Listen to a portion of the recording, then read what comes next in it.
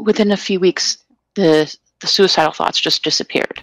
My lens on the world changed.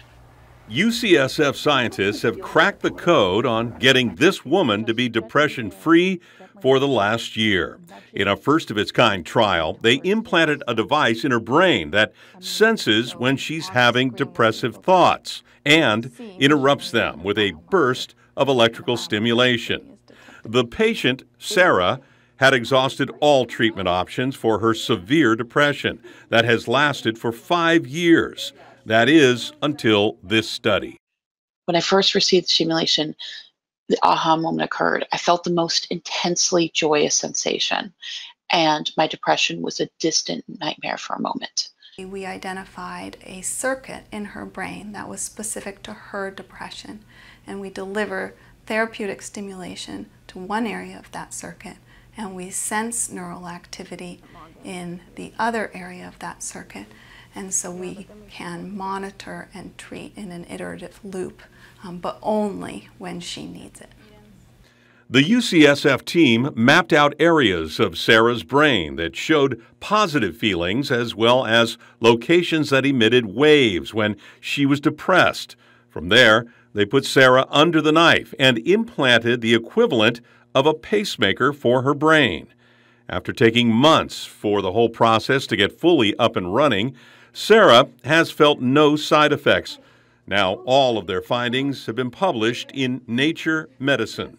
It affords us precision in a way that we've never really had before in, in treating depression. This is something that is just gently there, gently nudging them towards their best selves. It's hard to have a patient in your office where you've tried everything and there's nothing left to offer. And so I think this evidence that this type of therapy can work provides hope to patients. The scientists are quick to say this is just the first step in a very long process. And because each person's brain mapping needs to be personalized, this won't be scaled up in big numbers anytime soon. Still, they have added two new patients to the clinical trial and hope to add nine more. I think there's opportunities in the future to make it um, scalable for and more generalizable to a larger population. Um, but right now, it's it's in its very earliest phases. There could be a whole nother um, type of treatments that are based on biomarkers that can deliver treatment in on short time frames rather than antidepressants, which act on, on a much longer time frames. So I think it has a lot of implications. You know, medication is something, it's like a cudgel. It's always there, it's always, you know, there's a lot of side effects, everything else. And this potentially revolutionary type of treatment could have long reaching effects. The approach itself is not specific to depression, then, also.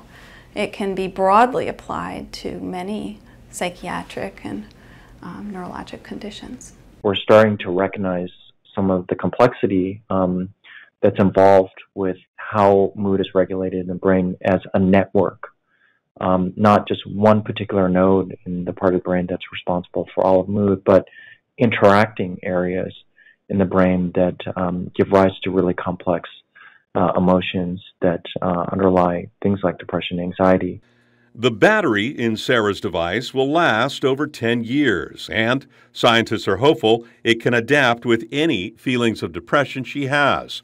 For now, she is relishing her newfound joy.